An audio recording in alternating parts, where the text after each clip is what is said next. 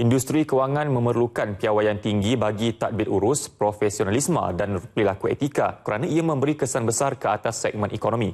Industri perlu fokus dalam meletakkan premium ke atas bakat berprestasi tinggi sekaligus mengekalkan nilai integriti dalam mendapatkan kepercayaan orang ramai. Jelas Gubernur Bank Negara Tan Sri Dr. Zeti Akhtar Aziz, institusi kewangan perlu mematuhi amalan perniagaan dan kewangan yang baik selain bertanggungjawab dan patuh kepada peraturan dan undang-undang.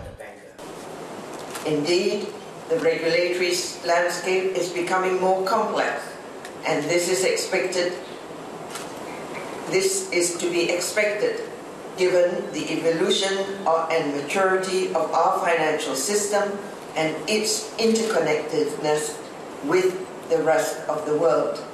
Beliau berucap sempena majlis penganugerahan Bank Bertauliah di Kuala Lumpur. Tan Sri Dr. Zeti dianugerahkan keanggotaan sepanjang hayat Institut Bank-Bank Bertauliah Asia AICB pada majlis itu. Ia merupakan satu kelayakan yang dianugerahkan secara bersama oleh AICB dan Institut Bank Bertauliah CBI di United Kingdom. Dalam majlis sama, 45 buah bank bertauliah Malaysia merupakan kumpulan pertama turut diiktiraf dengan kelayakan perbankan paling tinggi.